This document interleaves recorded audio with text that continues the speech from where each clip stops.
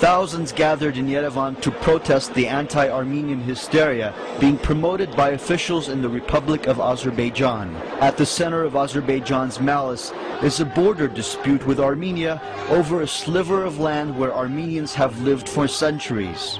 The conflict between Armenia and Azerbaijan can be traced back to Joseph Stalin, who in an attempt to control the ethnic communities in the Soviet Empire placed the centuries-old Armenian region of mountainous or Nagorno-Karabakh under Azeri rule. In reaction to talks of Armenian autonomy in Karabakh, Azeris attacked Armenians with the approval and support of local authorities. What resulted were massacres of native Azerbaijanis of Armenian descent. Hundreds were killed, tortured, burnt alive, stabbed with crude and barbaric weapons. Children were held over the open flames of stoves, and more than 300,000 Armenians were forced to flee Azerbaijan. But the world didn't take notice.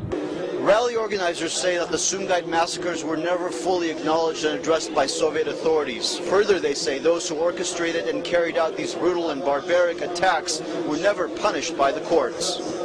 It took the Red Army three days to march into Sumgait and put a stop to the violence. But the violence broke out in other Azerbaijani cities and forced Armenians in Karabakh to use military force to defend themselves. For 18 years now, Armenia's government has been trying to find a diplomatic solution to the Armenian Republic of Nagorno-Karabakh's referendum to break away from Azerbaijan and be part of Armenia. As recent as a few weeks ago, another meeting between the presidents of Armenia and Azerbaijan failed to achieve any results.